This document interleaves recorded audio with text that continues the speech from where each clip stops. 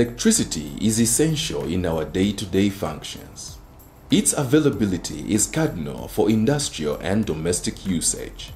It drives the wheels of economies worldwide as it enhances productivity. A deficit in this commodity is detrimental to industrial and economic growth. ZESCO understands this predicament and is working around the clock to ensure that the power situation becomes reliable and available for the local and regional needs. As 99% of electricity generation in Zambia is hydro, the need for water cannot be understated. The water bodies where ZESCO has its hydropower stations must have adequate water to ensure optimum generation of electricity to maintain the required capacities. This can only be realistic if the rain patterns are consistent and decent at all times. The Kariba Dam, one of the largest reservoirs in the world, has not been exempted from this catastrophic development. The Kariba North Bank Power Station, which generates 1080 megawatts, the largest capacity in Zambia, depends on the water from the lake which is shared by Zambia and Zimbabwe. When the water levels of the lake dwindle, generation is affected unfavorably. This reduces the capacity of power produced and the much dreaded load management, popularly referred to as load shedding, sets in. Mr. Edward Simbaya, the Kariba North Bank Power Station manager, gives us a more detailed account of the power station. Kariba North Bank Power Station is uh, the biggest power station in the country in terms of capacity. It produces 1080 megawatts, meaning 1080 megawatts. Um, the power plant is an underground power station with six machines. I can uh, say it's a two in one power plant. There is the old plant with the four machines and the new plant, which is the Kariba North Bank extension with the two machines. All the machines are rated at 180 megawatts each. Um, in terms of uh, capacity, uh, for looking at the overall ZESCO capacity, Kariba North Bank contributes about 46% of the ZESCO total production, which is around uh, slightly above 2,300 megawatts. The generation of electricity at ZESCO's Kariba North Bank power station relies on the water levels of the dam. The Zambezi River Authority, ZRA, a jointly and equally owned corporation by the government of Zambia and Zimbabwe, operates and maintains the Kariba Dam on the Zambezi River. Their role also includes the equitable allocation of water to Kariba North and South Bank power stations for electricity generation according to the level of the water. Mr. Edward Simbaya gives us more information regarding the role the authority plays and the water Zambia and Zimbabwe were both apportioned in this current situation. Lake Kariba is managed by ZRA, which is Zambezi River Authority. And the Zambezi River Authority is an intergovernmental uh, organization. It was uh, established in 1987 by the two governments, Zimbabwe and Zambia. What ZRA does, uh, it allocates an equal amount of water to the two utilities. That is Kariba North Bank, which is under ZESCO, and the Kariba South Bank, which is under Zimbabwe Power Company, ZPC. So when that equal amount of water is allocated, that's the amount of water which is uh, used for generation. Uh, you may also note that at the beginning of this year, ZRA allocated about uh, 38 billion cubic meters of water for the two utilities to use. And that translated to an average generation of about 500 megawatts for each utility to, to, to generate. But uh, after the first quarter, ZRA had to review, and this was because the inflow in the lake were very, very low. They were below what was expected. So they reviewed the allocation from 38 to 34 billion. And the, the 34 billion translated to about 352 megawatts for each utility. In fact, in short, what I can say, not necessarily 352, what I can say, that translated to uh, about 750 megawatts in total for the two utilities to use. Now, if you divide seven, seven, 750 megawatts, it meant each utility was to generate 375 megawatts up to the end of the year. But be, things being the way they are, ZRA has kept monitoring how much we are utilizing the water.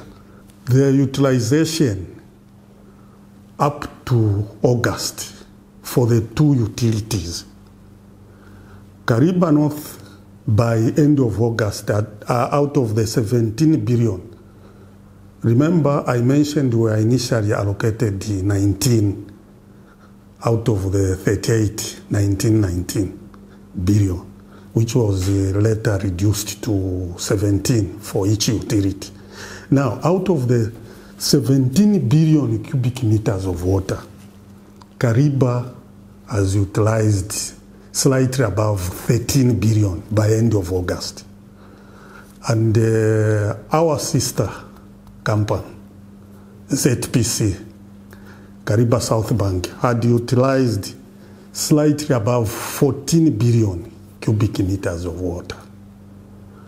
What it means now from say, the 17 by 31st August, ZESCO remained with uh, just slightly below 4 billion, and the Kariba South remained with slightly above 2 billion. Due to the calamity of low water levels, generation at Kariba North Bank Power Station is currently not at its optimum. Mr. Edward Simbaya explains that presence of water in the lake does not automatically entail the ability of generating power at peak capacity. The water level in the lake and the inlets regulate everything. We do have uh, live dam storage and dead storage. Live storage, that's the, the, the water stored for generation. Once you wipe out the live storage, you can't generate power. Dead storage, people will be able to see water in the lake reservoir. But that water may not be able to generate power because that live head would have been wiped out. Meaning to say the live storage is finished, but water will still be there in the lake. And that will be dead storage. You can't use it for generation of power. The maximum retention level for Kariba Dam is 488.5 meters above sea level. And the minimum operating level is at 475.5 meters above sea level. Below that level, which is 475.5 meters above sea level, you can't generate any electricity. So what we are saying here, at maximum retention level, you have about 108 billion cubic meters stored in the lake. And at minimum retention level, you have about 116 billion cubic meters of water. So in short, you have about 64 billion cubic meters of live storage. What I mean here is the live storage, that's the water which is used for generation of power. Now, where are we now? Uh, let me put it this way. Uh, at this point of uh, the year, where are we? I can say that uh, we are sitting at 478.13 meters above sea level. It's 19 September 2019. So what it means, we have remained with about uh, 2.63 meters above the minimum operating level. Now, if we wipe, we wipe out that 2.63 meters, we won't be able to generate electricity. At Kariba, it may, it may not only be the North Bank, even the South Bank will be affected. So, there are certain measures which we need to take in place. One of it is to minimize generation of power at Kariba so that we can reach up to, we reach at an appropriate level before the end of the year. And this will prepare us to move into uh, next year. Hopefully, God willing, we have good rains, then we will be able to be uh, better. And like we wipe out that 2.63 meters now, and we shut down the plant. As the water levels continue to go down, for the safety of the equipment and the plant to be operating until the levels are higher after the 2019-2020 rain season, load shedding is the only way to sustain the hydro generation infrastructure from imminent damage. The power station manager at Kariba North Bank, Mr. Simbaya, expounds on these dynamics and gives an update on how many generation units function in these conditions compared to the time when the water levels are normal.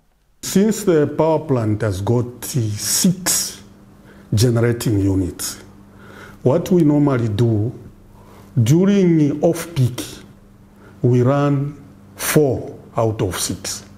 And during peak, we bring in the extension, the, the, the, the, two machines from the extension because those are designed to operate during peak time. But currently, we are running only three because of the same reason I have explained the low water levels in the reservoir. We are running three. At times, we are even uh, stopping the third machine to only run two we need to actually minimize generation. From uh, the figures we've gotten from uh, the simulation figures we've gotten from ZRA, and at the current lake level which we have, ZRA have advised that we should only generate 290 megawatts of electricity on average up to the end of December. That at least will give us uh, some cushion to arrive at a safe lake level so that we can move into the next year without shutting down the plant. How do we make sure that we don't shut down our power plants? We have been advised that uh, we need to reduce our generation. For ZESCO on Kariba North Bank side, we have to generate on average 290 megawatts up to the end of the year. For Kariba South, they have to generate 193 megawatts on average up to the end of the year. We need to stick to these values so that we don't deplete the, the reservoir levels to minimum operating levels because that would be very, very dangerous for our equipment. The reality of climate change cannot be overlooked when it comes to the alteration in rain patterns. Residents of Siavonga and those living close to the vicinity of the lake attest to the lowering of the water level. Mr. Philip Nkonde, the lodge supervisor for Manchinchi Bay Lodge, located in Siavonga at the shore of the Kariba Lake, gives his opinion on water levels and the effects this has on electricity production. Yeah, about the water level, it has dra drastically gone down. Yeah, um, as, as you can see, even where we are standing here, uh, all this beach that is uh, that can be seen here when the, the the water level when the lake is full to its capacity. Normally, this beach is it's just taken in, and then um, you can see where it reach, the water reaches, or the where the grass ends. That's where the water reaches. So normally, where we are standing here, it will, it will be in water, but uh, the way it is now, the water level has drastically gone down. Sambadu Somebody who is uh, closer to the to the point of generation of power uh, power, power generation. Uh, the the levels of water have drastically gone down, as I said, even earlier on, and uh, this has uh, has got an effect because the intake at the, at the dam over there, I'm sure the levels are also down, which means that uh, the the water that is required to generate power, I'm sure, is not as uh, sufficient as it would be.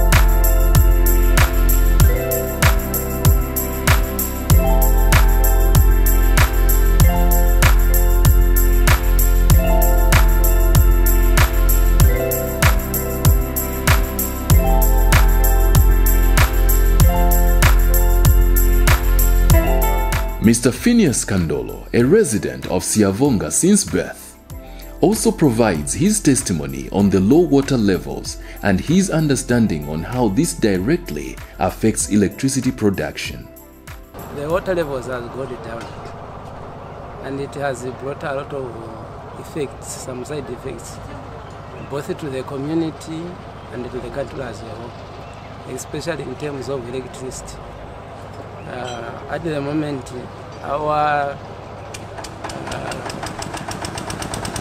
production, the power production at Garipa is not operating normally because of water levels which has gone down and as such, obviously, uh, the electricity industry in our country, power industry, is not operating normally.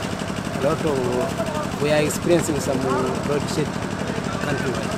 Maggie Nasusu, who resides in Kanyelele, Siavonga, also speaks on how she connects load shading to low water levels. manzi awa ajeya kamboka huleta katyani di etaka waga butu menda ajeya nishimalaiti kuno pawa nishiletyani di yeba ihonto taili mbuli nali manji menda aa.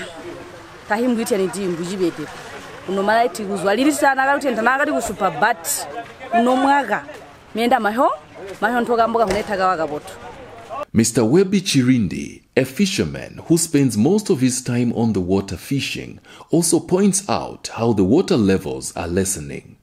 He also mentions the effects this is having on his own trade and touches on power generation being disturbed by this quandary. If you look at that hill there, I used to park on top of that hill. The water levels were on top of that hill. That's where my boat used to, to park. But this time, imagine that that level is all gone. The water is not there. Imagine water is here. It has moved from that end to here. Since I, since I came to Siavonga, that was uh, some 26, 27 years ago, the water levels were very okay. Very okay until after some years, then the water started going down. Yes. But uh, like, like as at now, the water levels are too low. Yes, they are too low. Even uh, in our fishing, we're getting very difficult to fish because of the water level. It has really gone down, very, very much down. Zesco's business is to produce electricity and not to load shed. This is how the utility company makes its revenue, and therefore it goes without saying that low rainfall is disadvantageous to hydroelectricity production. Zesco is, however, not looking at this dilemma with folded arms. Much is being done to increase generation capacity and the use of other sources of energy to make adequate power available for Zambia and the region. Zesco's vision is to become the hub of electricity trading by the year 2025, and all its efforts are focused on this becoming a reality.